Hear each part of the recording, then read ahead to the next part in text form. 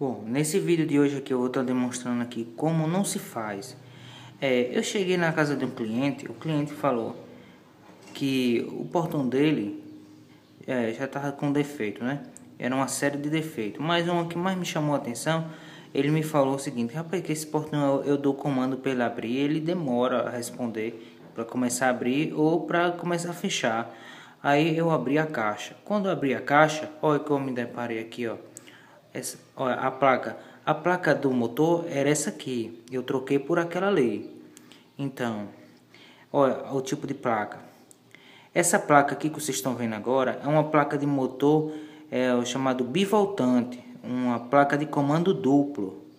Ou seja, para aquele motor de braço, aqueles portões que tem dois braços, que abre um, abre um depois outro. Esse portão é o seguinte, ele tem um atraso mesmo, isso é normal da placa. Por quê? Deixa eu focalizar aqui, pronto. Ele tem dois comandos, comando 1 um, comando 2. O primeiro comando tem um atraso para abrir, o segundo comando que abre por causa do batedor. Então, tem um atraso aí de poucos segundos. Aí, essa placa não é indicada para esse tipo de motor, que é o aqui, no caso, é um basculante. Aqui, ó. Entendeu, pessoal? Essa placa, vocês me perguntam, funciona? Mas mesmo assim, funciona? Funciona. A funcionar abre e fecha. Só que a resposta do controle vai demorar muito para responder, entendeu? A resposta, porque ele, ela, esse tipo de placa é uma placa que tem um, é, um atraso de segundos para abrir e fechar, que é nesse triposte aqui que faz isso aí entendeu? Ela não responde assim muito bem ao controle, porque essa tipo de placa não foi feito para motor é, basculante, porque essa placa aqui é motor de, é placa de motor de comando duplo, como vocês podem ver aqui, ó, aqui ó, central duplo relé.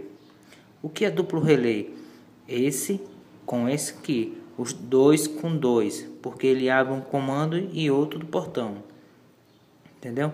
Essa placa Repito para vocês, não é indicada para motor basculante. Basculante ou deslizante, ela só é indicada para motores de comando duplo, para que tem para motores que tem dois acionamentos.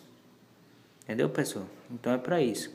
Cuidado aí para vocês não não cair numa dessa, vocês não aplicar uma placa que não serve para o tipo de motor, porque isso vai dar dor de cabeça para vocês. Entendeu? O cliente não vai gostar disso aí quando descobrir. Então é, pessoal.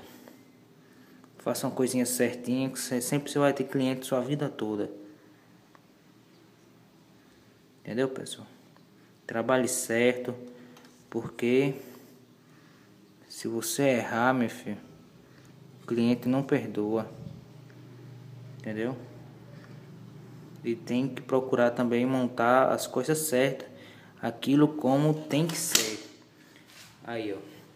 Já nessa já tem dois um comando, que é dois relés. Já que ela já tem quatro relés. Entendeu, pessoal?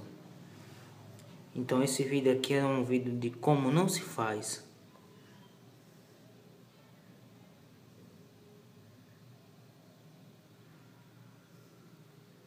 Então quem gostou dá um joinha aí, se inscreva no canal.